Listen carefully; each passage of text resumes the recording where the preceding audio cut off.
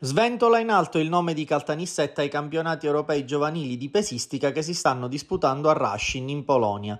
Il pesista nisseno Claudio Scarantino è riuscito a salire sul podio conquistando il terzo posto che gli è valso la medaglia di bronzo nella categoria del sollevamento fino a 61 kg.